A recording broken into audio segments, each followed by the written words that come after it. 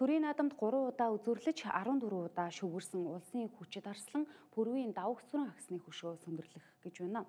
Бүхэд хайртай түмэндээ зориулж түүний төрсөн нутаг Төв аймгийн Батцөмбөр суманд босгохоор шийджээ.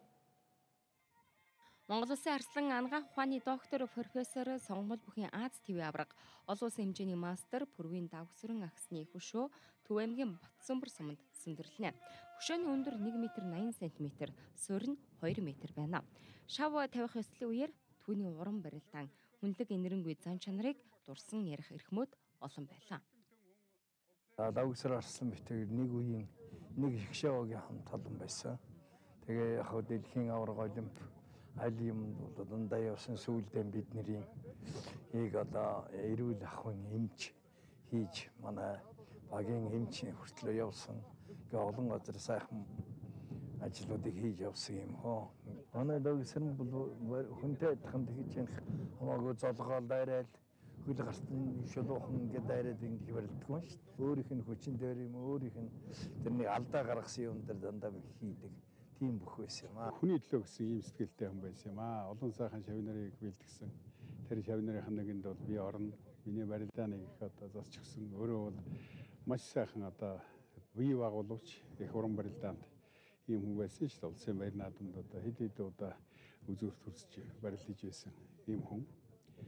За дээр нь давсрам багш маань бол одоо эрдэмтэн хүн анагаахын шинжилгээ ухаан ялангуяа спортын анагаах ухааныг хөгжүүлэхэд ер нь одоо шангийн татсан хүн гэж хэлж болох ийм эрдэмтэн хүн байсан юм аа. Давгсран агсны гэрхийг өлсөй сайхан гэдэг. Тэрээр энэ өдөр ханийхаа тухай дурсан ярьлаа. Миний нөхөр чинь их гүндөөгүй сайхан дараахан хүн дөрвөн хүүхэдтэй бид хоёр ингээд олон ач 8 ачтай болсон дөрвөн 30-тай бас ингээд өнөр өдгөн болсон бид нарт болсон сайхан байна. Тэгээд одоо нутаг орн ингэж хүлээж авч маш сайхан ажил зохиож байгаад бид нэр миний хувьд бол маш их баяртай байна. Би цай хоолыг байн баавал хажууд нь явж идэг л байсан л да. Аавынхаа ерөөсө жолооч нь л хэдгүй байсан тийм юм. Тэгээд ерөөсө тэр нэг бүх хөлийн цэцгийгтэн ширэнд орно хэвжээдэг тийм л хүн байсан юм.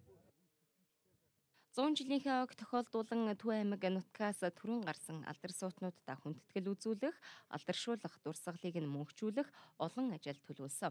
За тэдгээр энийг нь өнөөдөр шавыг нь тавьж буй тавгсрын агсны хөшөө юм.